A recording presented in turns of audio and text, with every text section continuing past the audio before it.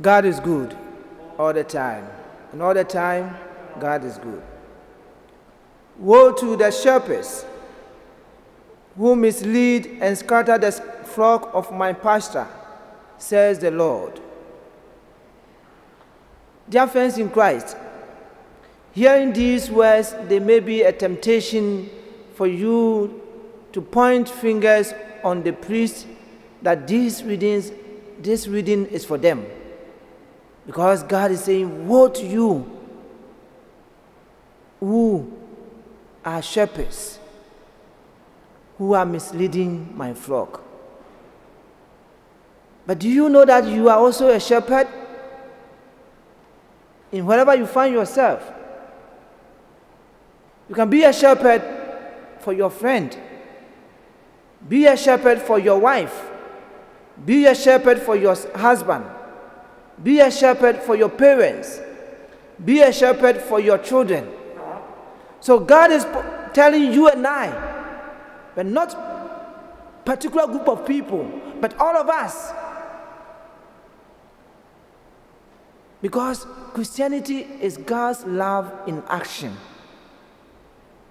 That is what Christianity is God's love in action. My dear friends, Jeremiah is giving this prophecy to the people of Judah,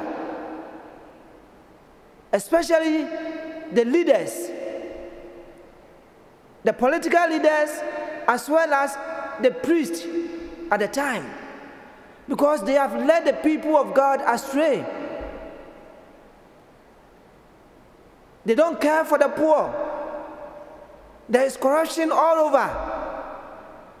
And they have also aligned themselves with Egypt, neglecting God in their lives.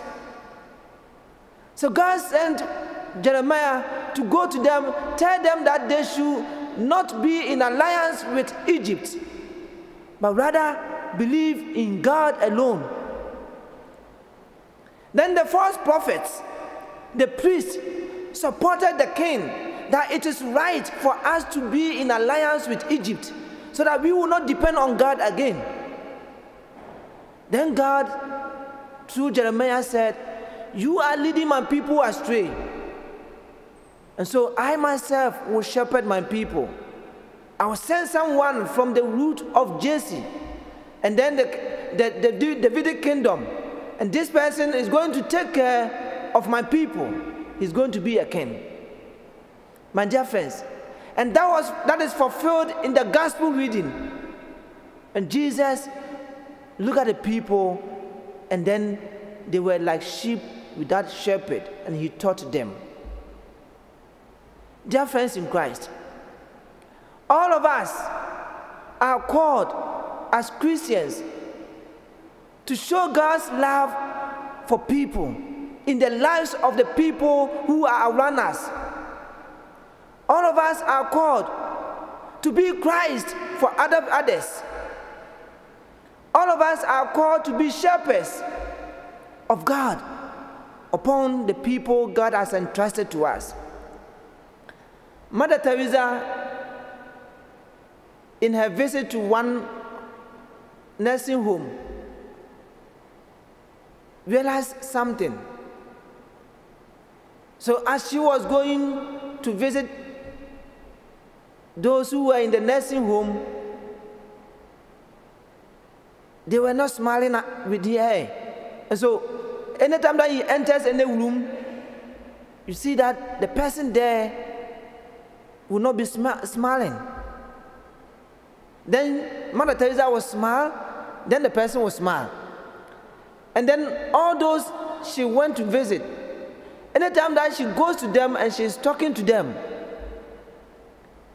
they don't look at her face, but they tend to look at the door.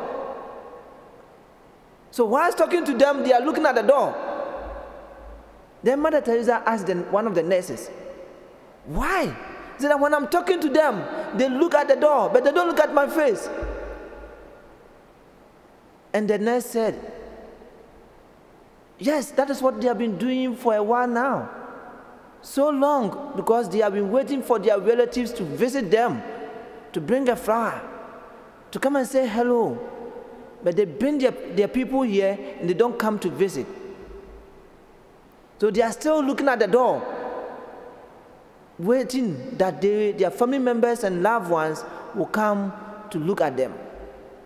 My dear friends, in such an incident, instead of the child or the children of these parents to be shepherd for their parents, they left them without caring for them.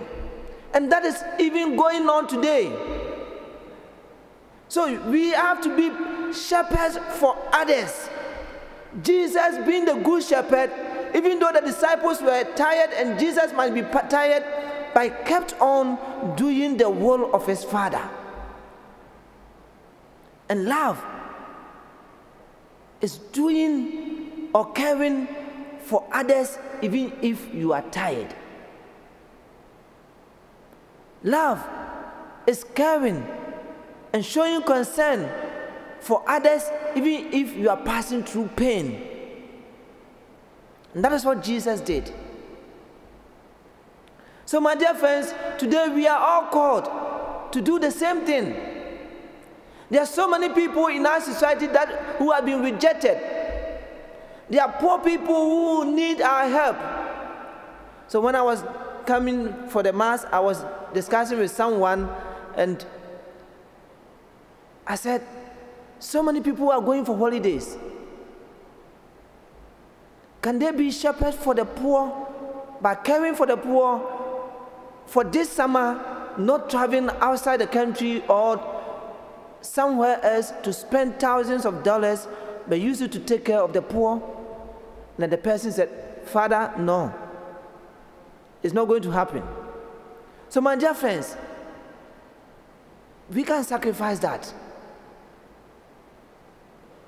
My dear friends, that is love. That is being a good shepherd for others. We know so many people suffering in our society passing through difficulties, we need to look at them not with the eye of the head, but with the eye of the heart. Jesus saw the people with the eye of the heart, but not with the head. And then he taught them because the people needed God's message. So, whether you are a priest, whether you are lay faithful, all of us, we have a duty. Being a Christian, our call is to bring God's love in action in the lives of people. Will you be Jesus in the life of your friend, your parents, your brothers and sisters, your children, your family members, or anybody else.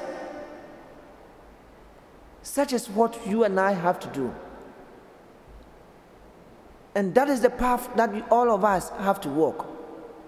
People can see Jesus only through us. People can experience Jesus only through us. The best miracle is to give Jesus to others by showing love in action. Are we prepared for that?